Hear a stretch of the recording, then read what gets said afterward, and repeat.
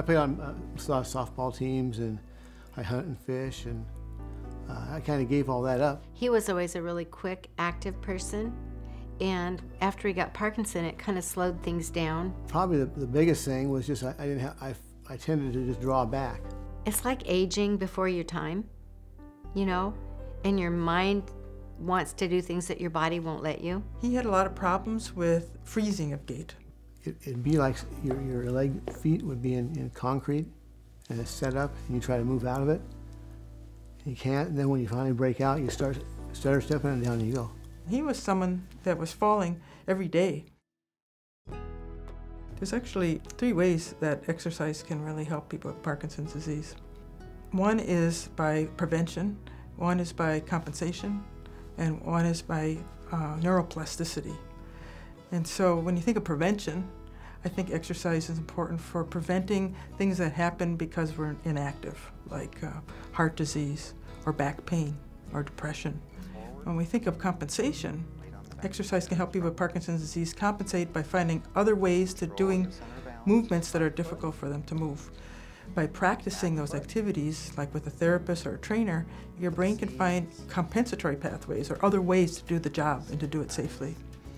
And then when it comes to neuroplasticity, exercise is really important because we think it changes the brain. When I was in medical school, it was thought that your brain uh, was what you got at birth, and all you had, all you suffered were losses throughout your, your life as neurons died. First thing is, I'm going to have you just do this for me. But now it's recognized that the brain can change and is changing throughout your life, and we know the brain changes with, with exercise. So now people are thinking maybe this can actually slow down the progress of Parkinson's disease. People work with, for instance, mice that are exercising. What they can do is ask questions we can't answer, like exactly which neurons in the brain are changing with the exercise and how are they changing. We want to be able to know what's going on in the brain. And only in animal models can you really go ahead and, and do this. These mice have been treated with the toxin that produces the Parkinson's disease. So what we do is we exercise the animals for a period of time, and we then determine if the exercise is effective or not. What we're hoping is that with our mouse model that we could actually show that exercise can slow down the progression of the disease. We hope that with us finding out how the brain reacts to exercise, we can then translate this to the clinic. Clinical researchers like myself can have similar types of exercise in people, and now we can make assumptions about what's happening to the brain.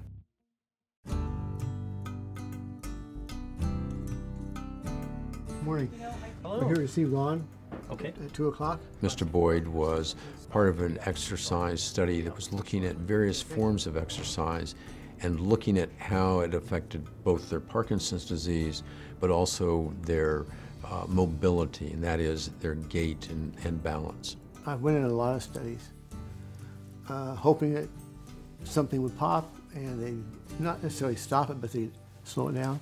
Let's try this. On the first Monday, when I started, I thought this is going to be tough. Because I don't, you can't stand on a ball and balance yourself or Step. put one leg up and put the other one down slow. Slow. But, but I can. Hold your weight on the front foot, make sure it's there. Then, hands apart, slow step. Nice. We had specialized um, inertial sensors. And we'll put one on your left wrist as well, so we can see what kind of arm movement you have when you walk. That we put on his legs and his arms and his body.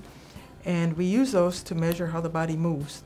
So for example, when he was standing as still as he could, we would use one of the sensors on his belt to measure his postural sway. All right, you able to close your eyes? We could measure his amount of body sway before exercise and then after the exercise program. Walk. Then when he was walking, we said, how big were his steps? And how much was he swinging his arms? How much was his trunk rotating when he was walking? And we expect with improvement of his balance that we would see improvement in these measures. The blue area here is your forward and backward sway and your left and right sway when you could use your eyes and your feet because you were on the firm surface. After this program of four weeks of working intensely with the physical therapist, he hasn't fallen since, and he feels like he's a lot more uh, light on his feet. He doesn't have as much freezing. He's able to make turns and step backwards without losing his balance. So he really feels like the exercise program has, has done him a lot of good. For a month, all I did was just stretching and, and uh, Tai Chi and boxing, and that made a difference. I loved it watching Jim with the physical therapist, and I saw him do all the exercises. I was like amazed at how well he did. I feel like I'm more pliable. I don't have the, the, the gait of a Parkinson person right now. The exercise studies oftentimes are really effective at establishing a, uh, a habit. It's not something you can do and say, well, I'll see a physical therapist for a few weeks and then I'm done.